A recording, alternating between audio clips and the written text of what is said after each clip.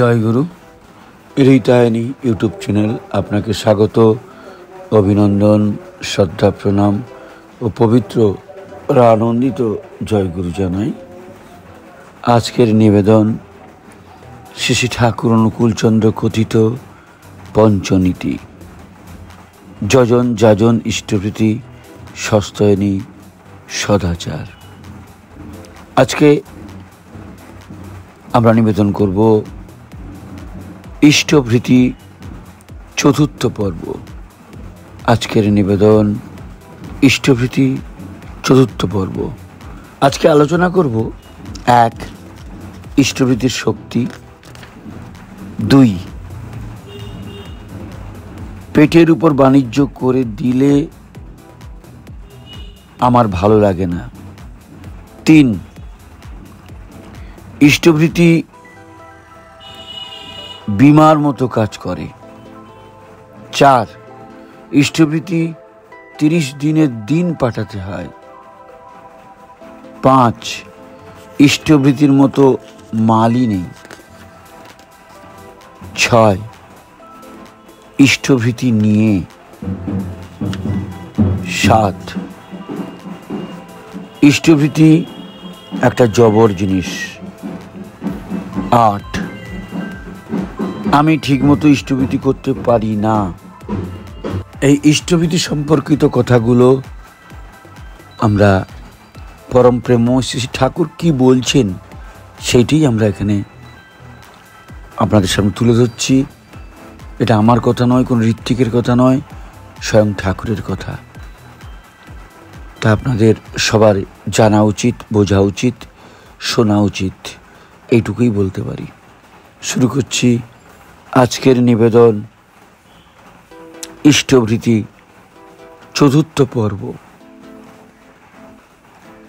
ইষ্ট এক, ইষ্টভৃতির শক্তি। একজন জিজ্ঞাসা করলেন, ইষ্টভৃতি যে মানুষ করবে, তার পেছনে একটা বিশ্বাস চাইতো শেষে ঠাকুর বললেন, বিশ্বাস অবিশ্বাসের কথা না, তাকে দেব। এই সুকেন্দ্রিক আকুতিতে যা হবার তা হবে।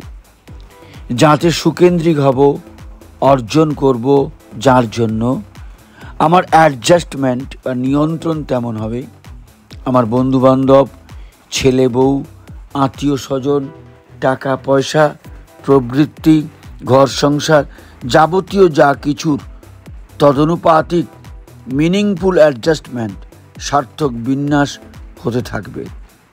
আমার যা কিছু দিয়ে তাকে ফুলফিল বা পূরণ করব। তিনিই সর্বাগ্রে। আমিও সেখানে তলিয়ে গেছি। আমার খাবার আগে তাকে নিবেদন মানে আমি আমার জগৎ নিয়ে তাকে মুখ্য করে চলেছি।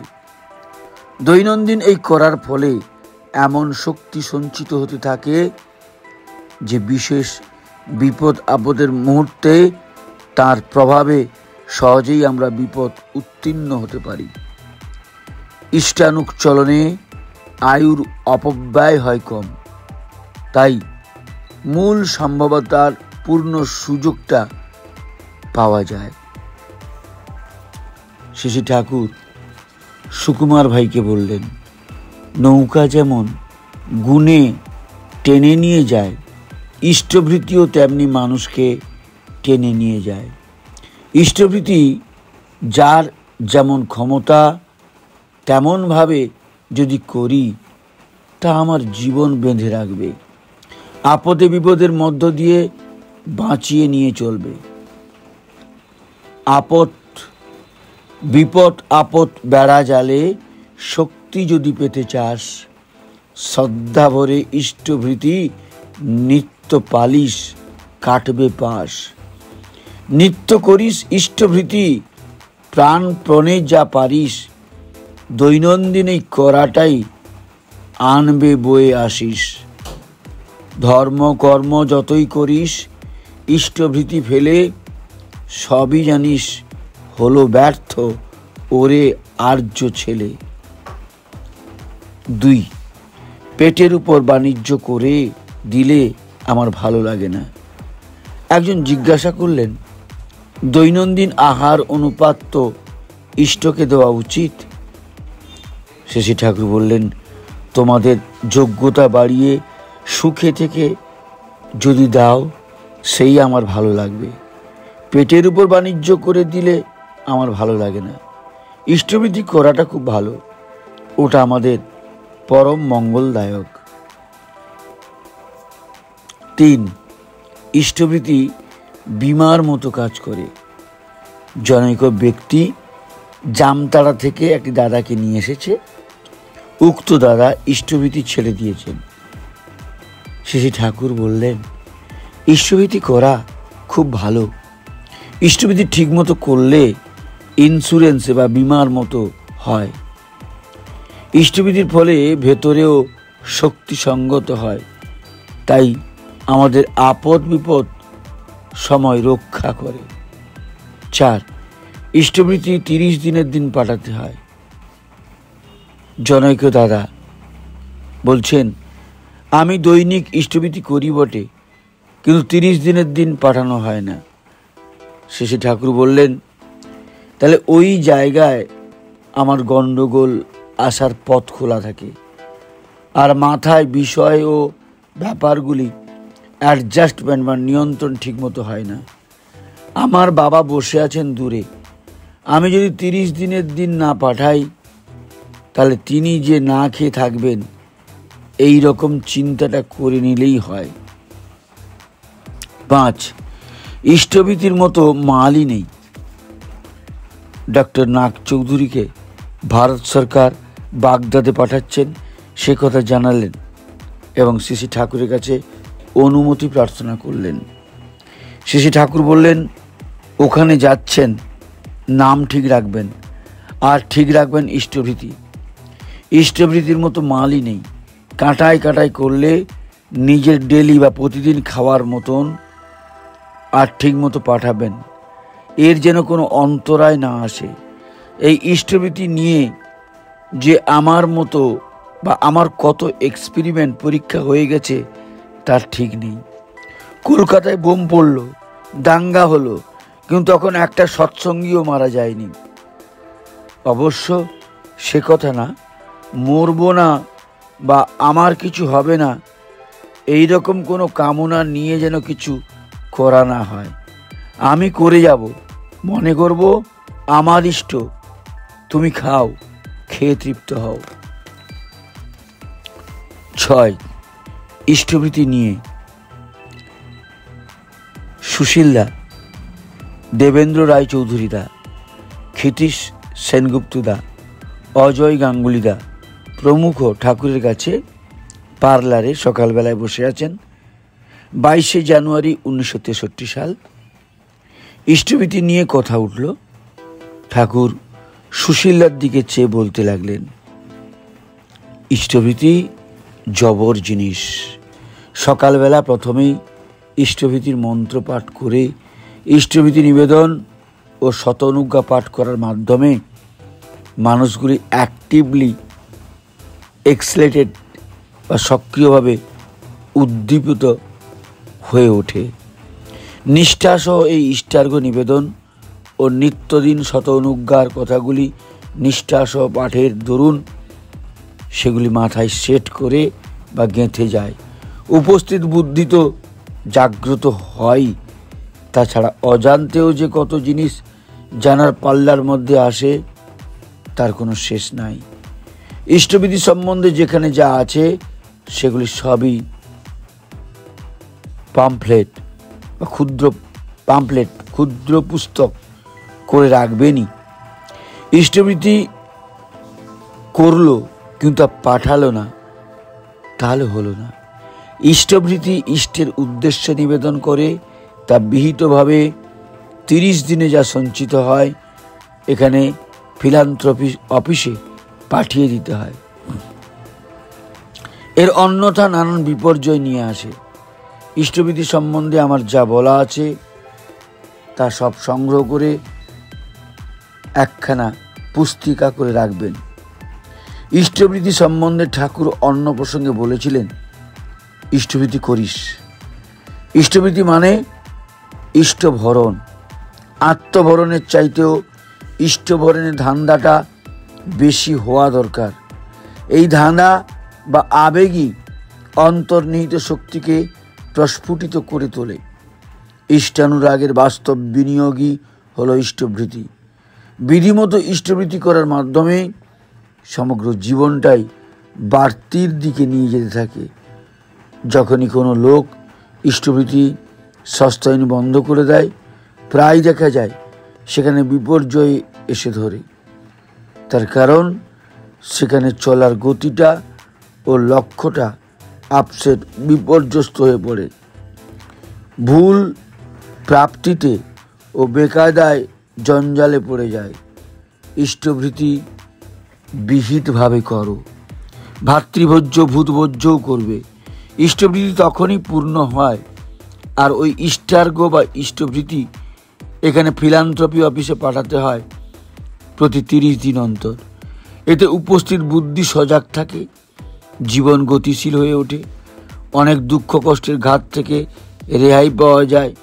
তবে কোনো শর্ত নিয়ে বা কিছু পাওয়ার লোভে ইষ্টভীতি করা বিধি নয়। শেষী ঠাকুর বললেন এই ইষ্টভীতি হলো মঙ্গলযোগ্য। কবিগুরু রবীন্দ্রনাথ ঠাকুরের একটি প্রবন্ধে ত্যাগের ফল উনিশশো আট সালে লিখিত, মঙ্গলযোগ্য সম্বন্ধে উক্তিটি অনেকবার ঠাকুরের সামনে পাঠ করা হয়েছিল। আপনাদের জানার জন্য আমি আপনাদের কাছে তুলে ধরছি। সংসারের মাঝখান থেকে একটা মঙ্গলের যজ্ঞ আরম্ভ করে দাও। সেই মঙ্গল যজ্ঞের জন্য তোমার ভাণ্ডারের একটি অতি ছোট দরজাও যদি খুলে রাখো, তাহলে দেখবে আজ যে অনভ্যাসের দ্বারা একটু টান দিতে গেলেই আর্তনাদ করে উঠছে, যার মরচে পড়া তালার চাবি ঘুরছে না, ক্রমেই তা খোলা অতি সহজ ব্যাপারের মতো হয়ে উঠবে। একটা শুভ উপলক্ষে ত্যাগ আরম্ভ হয়ে তা ক্রমশই বিস্তৃত হতে থাকবে। সংসারকে তো অহরাত্র সমস্তই দিই ভগবানকেও কিছু দাও। সেই নিষ্প্রিয় ভিকারী তার ভিক্ষাপাত্রটি হাতে হাসি মুখে প্রতিদিনই আমাদের দ্বারে আসছেন এবং প্রতিদিনই ফিরে যাচ্ছেন। তাকে যদি এক মুঠো করে দান করা অভ্যেস করি তবে সেই দানই আমাদের সবচেয়ে বড় হয়ে উঠবে। ক্রমে সে আর আমাদের মুঠোই ধরবে না। ক্রমে কিছুই আর হাতে রাখতে পারব না। কিন্তু তাকে যেটুকু দেব, সেটুকু গোপনে দিতে হবে। তার জন্য একটু এটুকু খ্যাতি চাইলে চলবে না। কেননা লোককে দেখিয়ে দেওয়া মানে সেটুকু একরকম করে দিয়ে অন্য রকমে হরণ করা। সেই মহাভিক্ষুককে যা দিতে হবে, তা অল্প হলেও নিঃশেষে হওয়া চাই। তার হিসেব রাখলে হবে না। তার রসিদ চাইলে চলবে না। দিনের মধ্যে একটা কোনো দান যেন আমাদের এইরূপ পরিপূর্ণ দান হতে পারে। সে যেন সেই পরিপূর্ণ স্বরূপের কাছে পরিপূর্ণ ত্যাগ হয় এবং সংসারের মধ্যে এইটুকু ব্যাপারে কেবল তাঁরই সঙ্গে একাকী আমার প্রত্যহ একটি গোপন সাক্ষাতের অবকাশ ঘটে। সাত। ইষ্টভীতি একটা জবর জিনিস। একজন বললেন আশ্রমের প্রায় বাড়ির ছেলেমেয়েরা নিয়মিত ইষ্টভীতি করে, এতে তাদের চরিত্র গঠনের অনেকখানি সহায়তা হয়।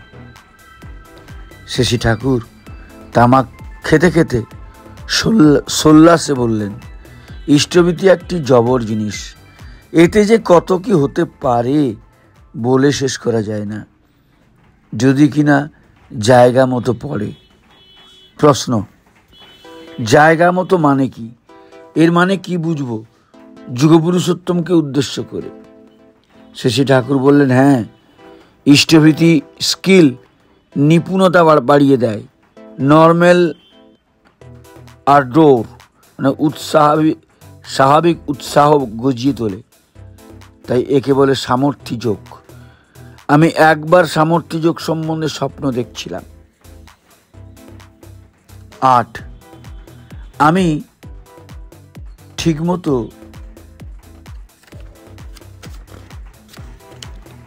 আমি ঠিকমতো ইষ্টভীতি করতে পারি না। সন্ধ্যার পর বহিরাগত এক দাদা এসে বললেন, আমি ঠিকমতো ইষ্টভীতি করতে পারছি না, পাঠাতেও পারছি না।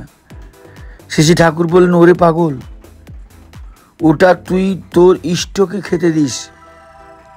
তোর স্বস্তিযোগ্য সেজন্য ভোরে উঠে প্রথমে ওটা করা লাগে।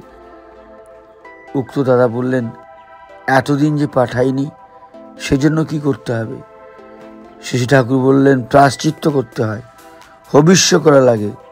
তাও কেষ্টদার কাছে শুনে নিস। শিশি ঠাকুর শরদ্দার দিকে তাকিয়ে বললেন, আপনি ইষ্টভীতি করেন রোজ সকালে? আর ভেতর দিয়ে জীবনের কল্যাণ হয়।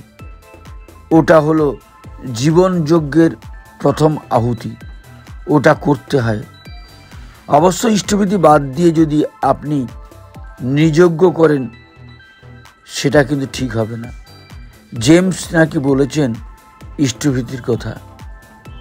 আবার পূর্ব প্রসঙ্গ ধরে শ্রী ঠাকুর বললেন, বার্মায় যখন বোম্বিং বা বোমা পড়ে বা বোমা পড়া শুরু হলো, তখনকার গল্প শুনলে অবাক হয়ে যেতে হয় যে কি করে সেখানকার সৎসঙ্গীরা বাঁচল। দ্বিতীয় বিশ্বযুদ্ধের সময় ব্রহ্মদেশে এই বিপর্যয়কালে সৎসঙ্গীরা কীভাবে শুধু অস্থলিত নিষ্ঠার সঙ্গে ইষ্টবিধি পালন ও অটুট বিশ্বাসের বলে রক্ষা পেয়েছে। কেষ্টদা সে গল্প করে শোনালেন বেদানন্দ ঝাকে। আজ এই পর্যন্ত। আবার আগামী পর্বে ইষ্টভৃতির পঞ্চম পর্ব নিয়ে আসব। পরম পিতার আতুল চরণে আপনাদের সবার মঙ্গল প্রার্থনা করি। জয় গুরু।